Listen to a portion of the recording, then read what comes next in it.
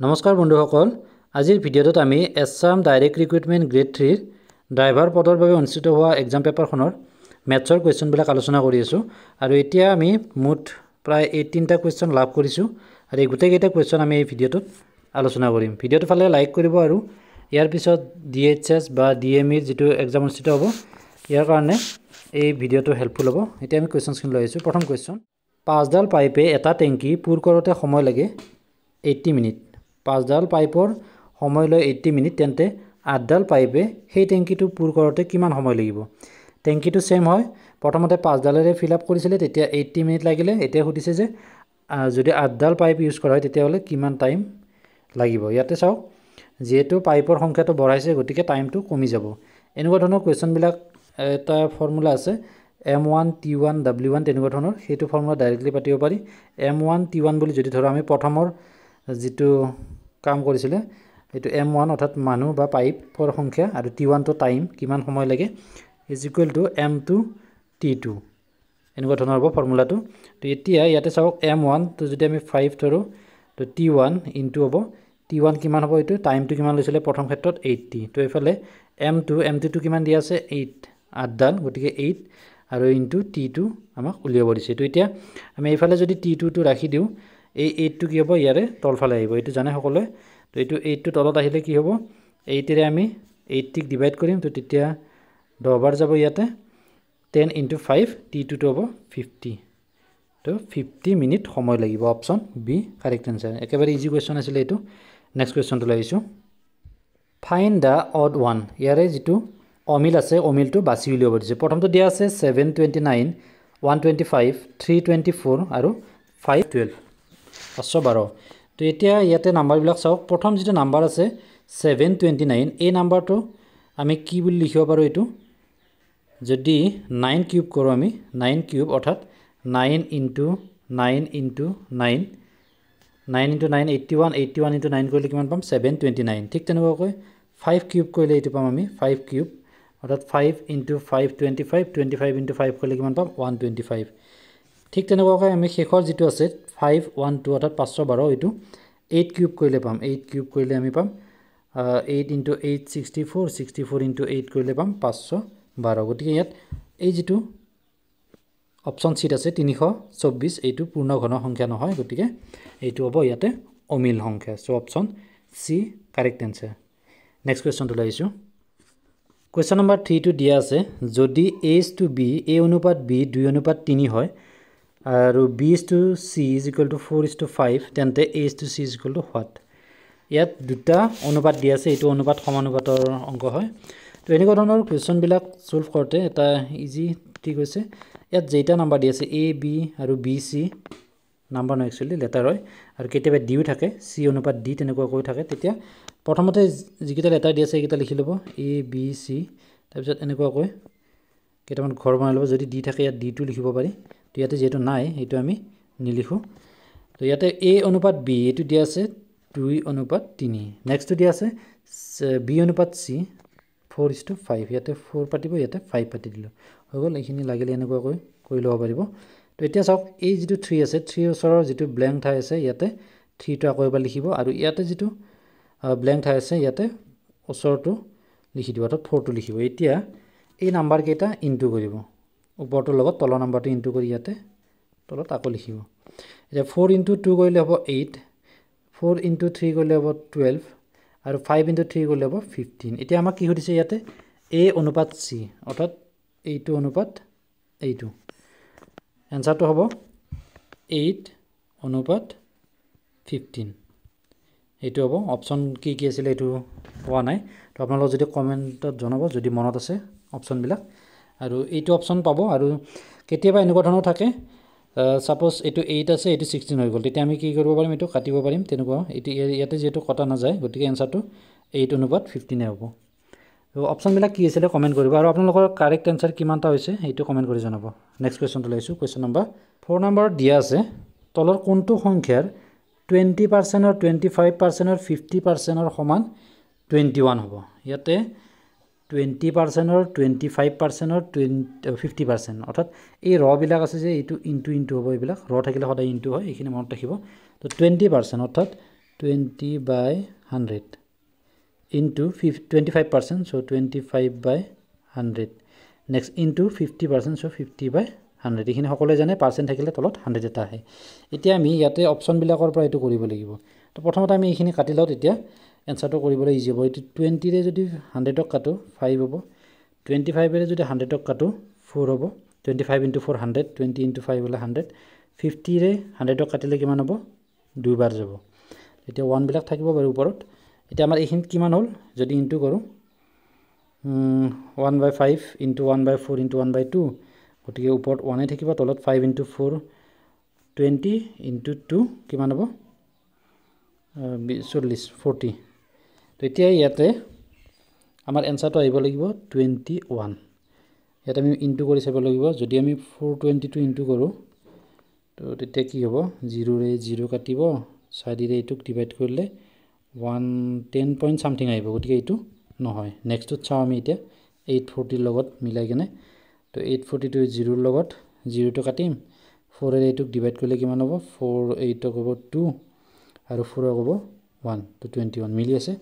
গতিকে twenty one হৈছে চ' option বিটো কাৰেক্ট এনচাৰ হ'ব। যদি এইটোৰ লগত নিমিলে তেনেহ'লে আমি থাৰ্ডটো চাব লাগিব তেতিয়া কি হ'ব জিৰ' জিৰ' কাটিম আকৌ ফ'ৰেৰে এইটোক ডিভাইড কৰিম তেনেকুৱা ধৰণৰ। বুজি পাইছে নিশ্চয়? আমি ইয়াতে যিবিলাক টুৱেণ্টি পাৰ্চেণ্টৰ বা টুৱেণ্টি ফাইভ পাৰ্চেণ্টৰ ফিফটি পাৰ্চেণ্টৰ ৰ দিয়া আছে এইবিলাক ইনটু কৰিব লাগিব। তো টুৱেণ্টি পাৰ্চেণ্ট আছে গতিকে ইয়াৰ লগত টুৱেণ্টি বাই হাণ্ড্ৰেড লিখিলোঁ টুৱেণ্টি ফাইভ আছে টুৱেণ্টি ফাইভ বাই হাণ্ড্ৰেড লিখিলোঁ আৰু ফিফটি বাই হাণ্ড্ৰেড লিখিলোঁ। আৰু এইখিনি উলিয়াই ল'লে আমাৰ কিমান হ'ল ওৱান বাই ফৰ্টি হৈ গ'ল। তো এতিয়া কৈছে যে কোনটো সংখ্যাৰ ৰ? অৰ্থাৎ এই অপশ্যনবিলাকৰ কোনটোৰ লগত পূৰণ কৰিলে আমাৰ এনচাৰটো হ'ব টুৱেণ্টি ওৱান বুজি পাইছে নিশ্চয়? যদি বুজা নাই তেনেহ'লে কমেণ্ট বক্সত কমেণ্ট কৰিব। নেক্সট ভিডিঅ'ত বা কমেণ্টত এইটো বুজাই দিবলৈ আপোনালোকক চেষ্টা কৰিম। Next question number five question number five ইয়াতে দিয়া আছে এডাল দহ ফুট দৈৰ্ঘ্যৰ জখলা এখন ৱালত আঠ ফুট উচ্চতাত বিন্দু কৰাকৈ আউজাই থোৱা আছে। এতিয়া জখলাডাল কিমান দূৰত্ব চপাই আনিলে? নাইন পইণ্ট ছিক্স ফুট উচ্চতাৰ ৱালখনত সম্পূৰ্ণৰূপে চুব। ৱালখন দিয়া আছে ইয়াতে নাইন পইণ্ট ছিক্স ফুট এখন ৱাল ধৰি লৈছোঁ। এইখন এখন ৱাল।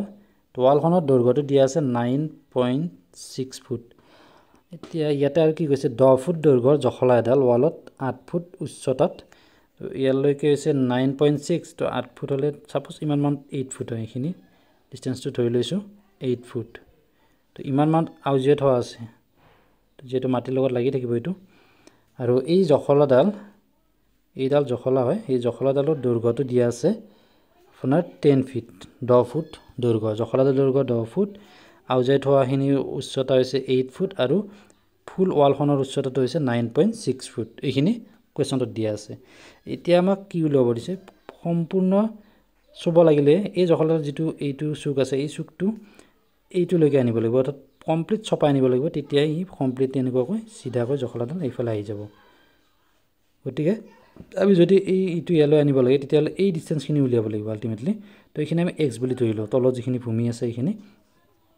তো এতিয়া এটা সমকোণী ত্ৰিভুজ হৈ গ'ল তো ইয়াতে আমি পাইথাগোৰাছৰ ফৰ্মুলা ইউজ কৰিব পাৰিম। তেতিয়া কৰ্ণ স্কেয়াৰ ইজ টু ভূমি স্কেয়াৰ লম্ব স্কেয়াৰ তো ইয়াতে কৰ্ণটো হ'ব ten square ten square is equal to এইটো ভূমি এক্স ধৰিছোঁ যিহেতু এক্স স্কেয়াৰ আৰু প্লাছ এইট স্কুৱেৰ হ'ব। তো এতিয়া আমি এক্স স্কুৱেৰটো যদি এইফালে ৰাখি দিওঁ তো এইট স্কুৱেৰটো এইফালে আহিব আৰু টেন স্কুৱেৰ কৰিলে হ'ব হাণ্ড্ৰেড এইটো এইফালে আহিলে মাইনাছ হৈ যাব। Hundred minus eight into eight sixty four হাণ্ড্ৰেডৰ পৰা ছিক্সটি ফ'ৰ গ'লে কিমান থাকিব? ছিক্স থাকিব এইফালে আৰু এইফালে নাইনৰ পৰা ছিক্স গ'লে থ্ৰী থাৰ্টি ছিক্স হ'ব। এক্স স্কুৱেৰ মানে। তো এতিয়া এক্স মানে কিমান হ'ব? আমি ইয়াৰ বৰ্গমূল উলিয়াম। তো এক্স স্কুৱেৰ মানে যদি থাৰ্টি ছিক্স হয় এক্স মানে হ'ব ছিক্স এক্স ইজিকুৱেল হ'ব ছিক্স কিয়নো ছিক্স আমি দুটা ইনটু কৰিলে থাৰ্টি ছিক্স পাওঁ। তো এক্সৰ ভেলটো ছিক্স হৈ গ'ল অৰ্থাৎ এনচাৰটো হ'ব ছয় ফুট। আমি এই যিখিনি এক্স ছয় ফুট আছে এই ছয় ফুটটো আমি যদি জখলাটোৰ মাটিৰ ফালে লাগি থকা কৰ্ণাৰটো ইয়ালৈ আনো তেতিয়াহ'লে ই পূৰাপূৰি নাইন পইণ্ট ছিক্স ফুটলৈকে ওখ হৈ যাব। গতিকে এনচাৰটো হ'ব ইয়াতে ছিক্স ফিট অৰ্থাৎ option B correct answer next কুৱেশ্যনটো আহিছোঁ। কুৱেশ্যন নাম্বাৰ ছিক্স ইয়াতে দিয়া আছে এহেজাৰ জনসংখ্যা থকা গাঁও এখনৰ জনসংখ্যাৰ দহ পাৰ্চেণ্ট বছৰি বৃদ্ধি হ'লে তিনি বছৰৰ পিছত মুঠ জনসংখ্যা কিমান? এই যে কুৱেশ্যনটো মই ইয়াৰ আগৰ যিটো পাৰ্ট আছিলে তাত অকণমান দীঘলকৈ কৰিছিলোঁ। তো তাত বহুতে কমেণ্ট কৰিছে যে এনেকুৱাকৈ এনচাৰ কৰিলে আপোনাৰ বহু সময় লাগিব। এটা শ্বৰ্টটো কৰিব পাৰি এইটো। ডাইৰেক্টলি যিটো দিয়া আছে থাউজেণ্ড ইনটু কিমান কৈছে টেন পাৰ্চেণ্ট বছৰি বৃদ্ধি তিনি বছৰ টেন পাৰ্চেণ্টকৈ বৃদ্ধি হ'লে কিমান হ'ব? ওৱান হাণ্ড্ৰেড টেন তিনি বছৰ গতিকে ছেকেণ্ড বছৰটো ছেম বৃদ্ধি হ'ব বাই হাণ্ড্ৰেড আৰু থাৰ্ড বছৰটো ছেম হ'ব ইমান বাই হাণ্ড্ৰেড তো এতিয়া এইখিনি কাটিলে আমি ডাইৰেক্টলি এনচাৰটো আহিব। দুটা জিৰ' দুটা জিৰ' ইয়াৰে দুটা জিৰ' ইয়াৰে দুটা জিৰ' কাটিলোঁ আৰু দুটা থাকিলে এই দুটা গ'ল। গোটেইখিনি জিৰ' কটা গ'ল। এতিয়া এলেভেন ইণ্টু এলেভেন কিমান? One twenty one one twenty one into eleven কৰিলে কিমান হ'ব? ওৱান টুৱেণ্টি ওৱান আৰু এটা আহিব। ওৱান থ্ৰী থ্ৰী ওৱান অঁ ঠিক আছে. One thousand three hundred thirty one correct answer option B এনেকুৱাকৈ কৰিলে কম সময়তে হ'ব। কিন্তু ইয়াৰ আগৰ যিটো প্ৰচেছ দেখুৱাইছিলোঁ সেইটোত একচুৱেলি বুজাৰ কাৰণে দেখুৱাইছিলোঁ।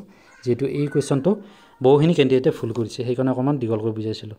ঠিক আছে ইয়াতে সিহঁতে শ্বৰ্ট ট্ৰিকত দেখুৱাই দিলোঁ। Next number seven a number is increase by thirty percent then decrease by thirty percent what is gain or loss percentage এইমাত্ৰ কৰা যিটো অংক কৰিলোঁ সেইটোৰ দৰে ছেম টাইপতে কৰিব পৰা যাব ইয়াতো।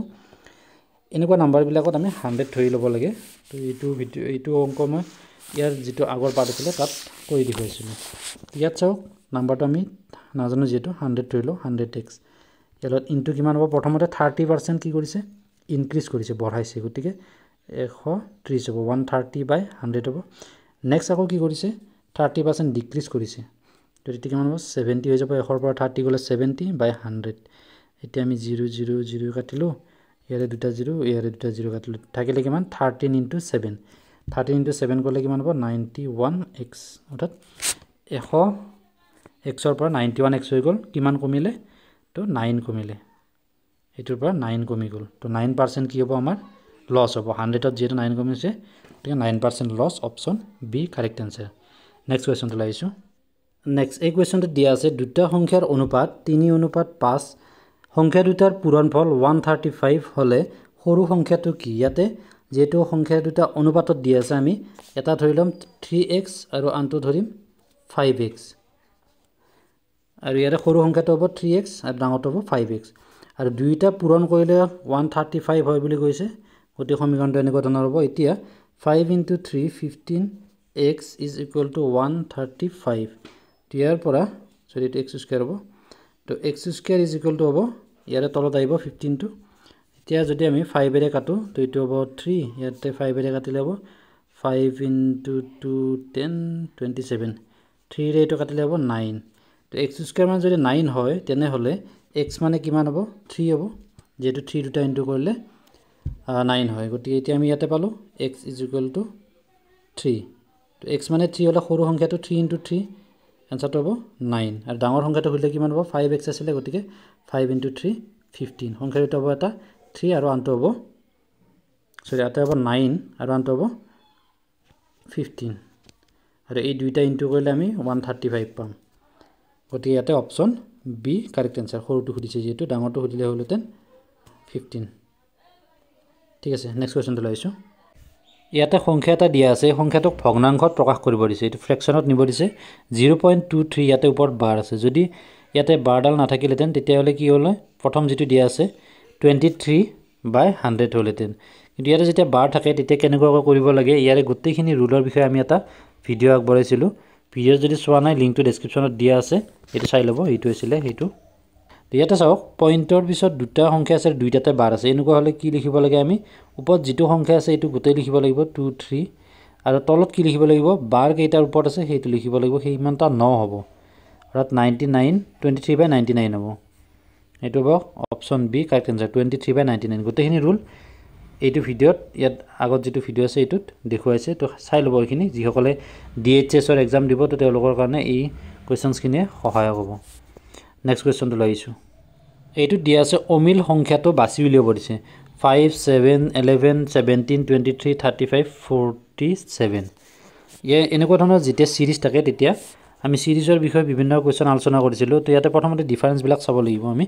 ফাইভ আৰু ছেভেনৰ মাজত ডিফাৰেঞ্চটো হৈছে টু ফাইভ প্লাছ টু কৰিলে ছেভেন পাওঁ ঠিক তেনে ছেভেনৰ আৰু এলেভেনৰ মাজত ডিফাৰেঞ্চ হৈছে ফ'ৰ ছেভেন প্লাছ ফ'ৰ কৰিলে আমি এলেভেন পাওঁ। এতিয়া এলেভেন প্লাছ ছিক্স কৰিলে আমি ছেভেণ্টিন পাম।